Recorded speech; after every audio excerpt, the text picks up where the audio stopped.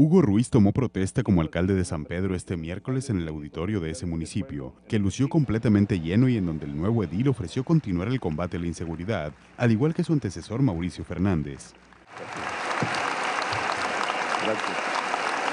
Gracias, qué. Ahora ya como ciudadano, decirle a Hugo que me da muchísimo gusto que esté en este proyecto de continuación tendrá todo nuestro apoyo y nuestro respeto de un servidor y de todos ustedes. Y muchísimas gracias por estos tres años. Muy amable.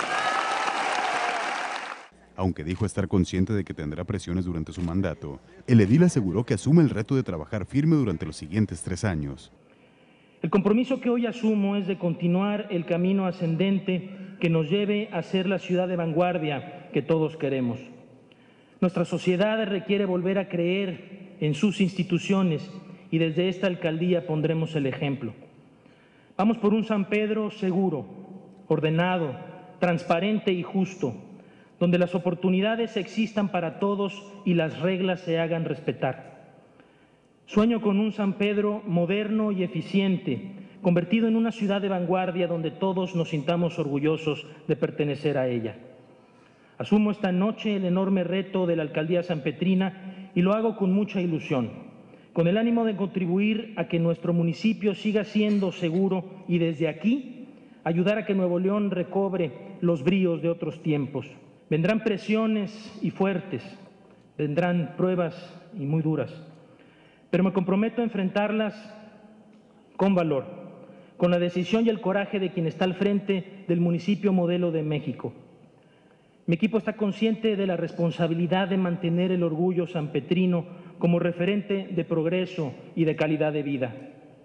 Es que cuando se habla de San Pedro normalmente se hace desde la lógica de exaltarlo como el municipio más rico de México, el más educado por el grado escolar de sus habitantes, el más organizado en mesas directivas de colonias electas por los mismos vecinos. Ni qué decir de su riqueza por habitante que lo hace ser el municipio más rico en América Latina. Ruiz anunció también la implementación de un programa para eliminar la pobreza en San Pedro y manifestó su rechazo a la instalación de casinos en el municipio. En San Pedro tenemos un rezago social focalizado que debemos combatir y erradicar. Y debemos hacerlo primero reconociendo los números que duelen para después organizarnos con una meta muy clara en el corto plazo, convertirnos en el primer municipio del país que presente indicadores de pobreza en cero. Por eso esta noche quiero reconocer y hacer visible el otro San Pedro, el de las 10 colonias irregulares, el que tiene poco menos de 400 casas con pisos de tierra, casi 200 con techo de lámina, poco más de 40 sin agua entubada, además de 11.470 personas en lo que se denomina pobreza moderada y 343 personas en pobreza extrema. Esto, amigas y amigos sanpetrinos, es algo que no podemos permitir en un municipio como el nuestro. Es por ello que esta noche anuncio el lanzamiento del programa social de combate a la pobreza más ambicioso en la historia de nuestro municipio.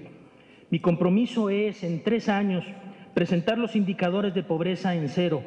En este municipio no queremos casinos y por ello continuaré las estrategias jurídicas, políticas y mediáticas para así lograrlo con imágenes de Juan José Aguilera e información de Abraham Vázquez, Grupo Reforma.